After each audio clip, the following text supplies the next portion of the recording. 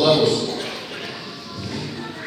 Bir gün Harun Reşit Harun bir baktı ki Behri Gane Hazretleri yere oturmuş, elinde bir çubuk, resim çiziyor, oynuyor.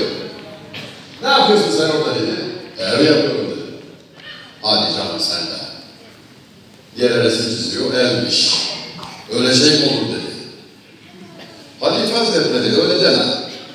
Bitsin inşaat bakarsın müşteri çıkar dedi. Halife Harun Reşit burun kıvırdı, çekildi. Lafta geçmiyor bunlara dedi. Yani bir de satacakmış dedi.